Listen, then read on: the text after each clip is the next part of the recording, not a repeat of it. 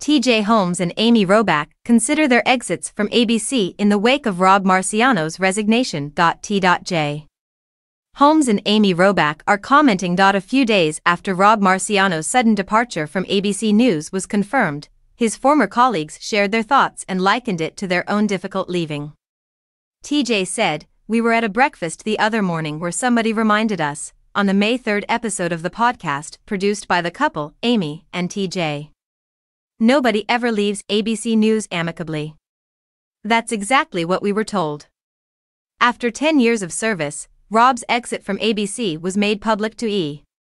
News on April 30th. The meteorologist was sacked without explanation, however, some media sources said it was due to worries about his attitude. He divorced his wife, Erin Marciano, in 2022 after 11 years of marriage and two children. While Amy and TJ did not explicitly address the accusations, Amy indirectly connected them to the couple's own 2023 departure from Good Morning America. It's a tough situation, Amy continued. Yes, we have walked down that road and it's not an easy one, and I know he also has, and I think he might still be, going through a divorce, so we know what it's like to have your entire life upended.